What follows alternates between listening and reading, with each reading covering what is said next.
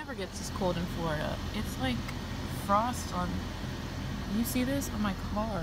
You can see my breath right now. What the hell is this?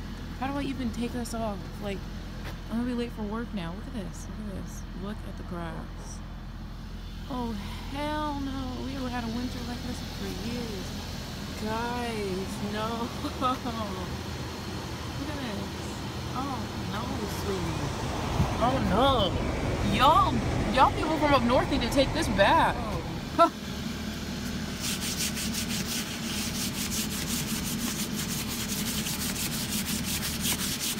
Don't come to Florida. You gave us the cold.